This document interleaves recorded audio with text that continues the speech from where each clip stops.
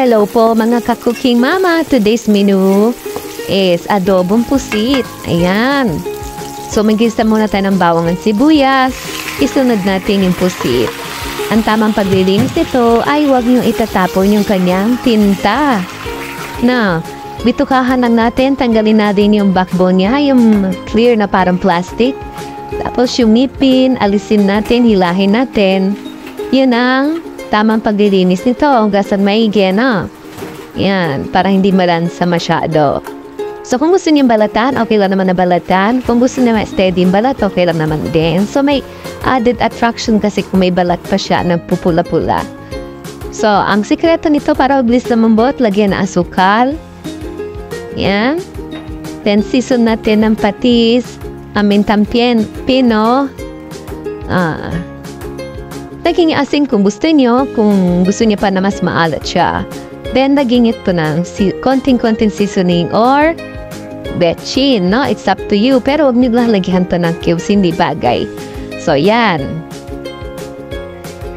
So, hindi na ako naglagay ng sabaw, no? Kasi kumusa ng sumabaw yung mismong puset.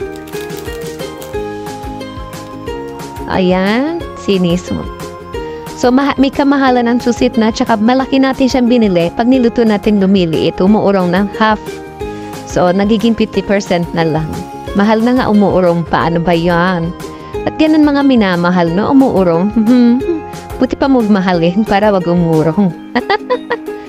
Ay, ewan. Napasama love life dito. So anyway, pakuluan lang to hanggang sa lumambot. Then, pag malambot na, add natin ng konting vinegar. So, sa mga gusto maasim yung adobo niya, lagyan ng marami. It's up to you, okay? Sa akin, konti lang vinegar. So, yan. Palambutin pa natin pa pa ay tikin pa tikin natin yung sauce, yung sabaw. Yan. Add natin to ng siling haba o yung pansigang para mawala yung lansa. At added na rin sa lasa. Yan. Luto na. Thanks for watching. Sana mag-subscribe kayo sa aking channel. Love you all. Bye-bye!